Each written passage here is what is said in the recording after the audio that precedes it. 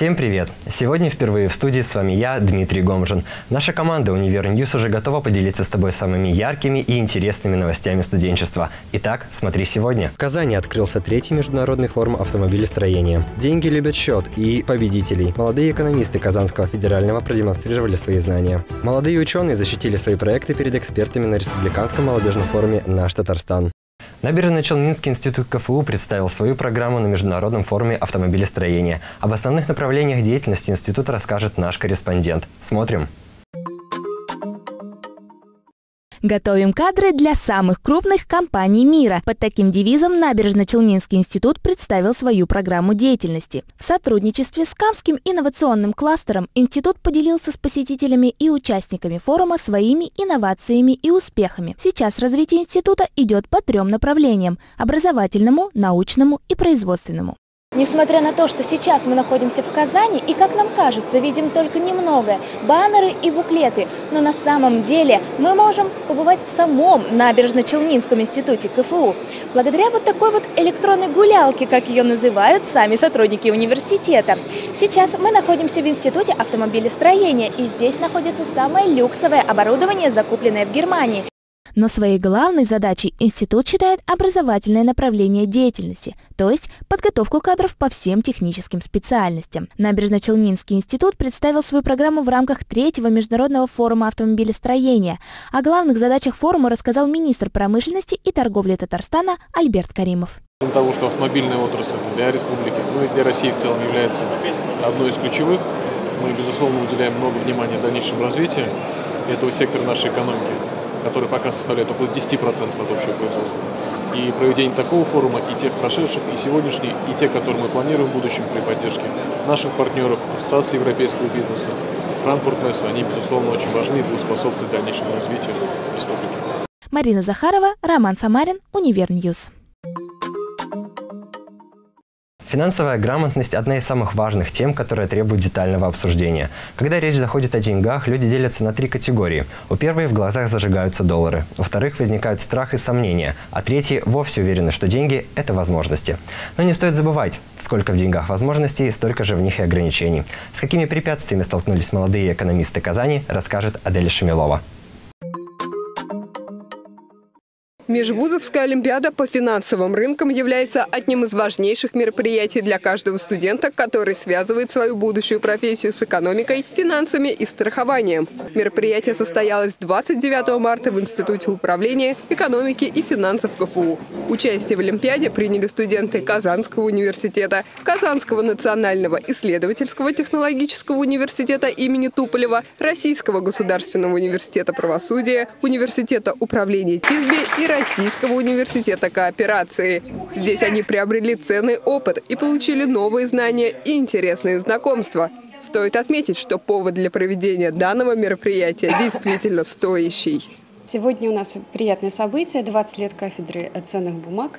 Соответственно, это регулярное мероприятие. Олимпиада посвящена финансовым рынкам. Это один из наиболее важных сегментов на сегодняшний день развития экономики. И в этом отношении молодые ребята, студенты соревнуются по знаниям именно в этом сегменте. Основной э, тенденцией на ближайшие несколько лет э, на финансовых рынках является развитие небанковских финансовых институтов, страховых компаний, пенсионных фондов, инвестиционных компаний.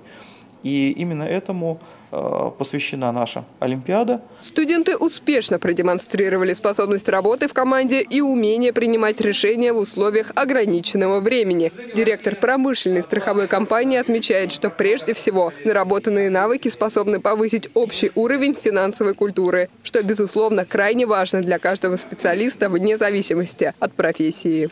Э, и умение пользоваться и своими финансовыми ресурсами, и э, вопрос подготовки специалистов финансовых рынков во всех отраслях, э, это, конечно же, вопрос в первую очередь образования. Олимпиада подарила всем участникам не только теоретические знания по финансам и экономике, современным банковским технологиям и новейшим финансовым продуктам, но и предоставила возможность применения полученных знаний на практике, обеспечивая тем самым всем участникам будущую финансовую безопасность.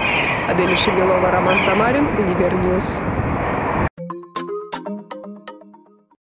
Старшекурсников все больше волнует вопрос дальнейшего места работы. Где выпускник сможет применить свои знания? И куда податься молодому специалисту без опыта? На все эти вопросы ответили работодатели крупных организаций и фирм. Ответы узнаешь в нашем следующем сюжете. У вас очень интересные дни. Задумывайтесь о том, что будет после прекрасных студенческих лет. Дерзайте, находите то место, которое вам понравится. Не понравится, ищите дальше. Совсем немного времени у студентов остается до получения заветного диплома. Поэтому старшекурсники начинают задумываться о будущей профессии. В Институте управления экономики и финансов проходят дни карьеры. По-другому это называется ярмарка вакансий. Э, приходят работодатели, которые заинтересованы в нашем, наших студентах, общаются с ними. Это уже традиционное мероприятие, которое проходит два раза в год. На дни карьеры приглашаются крупные финансовые фирмы, корпорации, предприятия и банки. Здесь студенты, подчеркнут для себя много полезной информации, смогут определиться с будущей карьерой. Ну, в этом году мы заканчиваем университет, мы четвертый курс, и а, хотелось бы, конечно, уже а, о будущем своем задуматься и, возможно, узнать для себя а, какое-то место работы, определиться с должностью. И... А, так заканчиваю уже университет, четвертый курс, а, пришел послушать, а, какие есть вообще направления, какие есть вакансии, что хотят, как бы, ну, кого хотят видеть работодатели. Я заканчиваю государственное муниципальное управление. Больше мне бы хотелось, конечно, в госструктуру. Образование, которое получил, получил я, получаю, вот сейчас оканчиваю. Оно, в принципе, предусматривает работу и в банке, вот, и в коммерческих, не в коммерческих организациях. Работодатели рассказали о том, что сегодня востребовано на рынке труда. Объяснили, как правильно оформлять резюме, поделились секретами успешного собеседования и многого другого. И хотел я начать с рынка труда. Иначе говоря, с ответа на вопрос, что нужно работодателю. А прежде чем ответить на этот вопрос, скажем так, что не нужно рынку труда на текущий момент. В течение двух дней студенты побывают на мастер-классах таких крупных компаний-партнеров, как HeadHunter, Аудэкс, Акбарсбанк, Home Credit Bank и многих других. И, возможно, именно это мероприятие поможет определиться, какой фирме и организации отдать предпочтение после окончания учебы. Анна Глазунова, Леонард Влетьяров, Универ News. Республиканский молодежный форум «Наш Татарстан» в этом году проходит уже седьмой раз. Заявок на участие было свыше 200. И только самые лучшие представят свои проекты в финале перед инвесторами. А пока участники, отобранные на заочном этапе разных площадок, защищают свои проекты перед экспертами. Какие новые разработки представили в рамках площадки «Территория инноваций», узнаете прямо сейчас. В рамках Республиканского молодежного форума «Наш Татарстан» около 20 участников защищали свои проекты на очном этапе перед экспертами. В Министерстве образования и науки Республики Татарстан собрались только лучшие представители по тематической площадке «Территория инноваций» этого года. Судя по заочному этапу, э, есть очень интересные проекты, есть э, проекты, которые предлагают нетрадиционный подход, нетрадиционный взгляд для решения э, очень конкретных научных проблем, технических проблем, которые актуальны для нашей республики сегодня. Площадка «Территория инноваций» предполагает участие авторов технологических инновационных проектов, научно-технических разработок, прикладной и теоретической научно-исследовательской деятельности.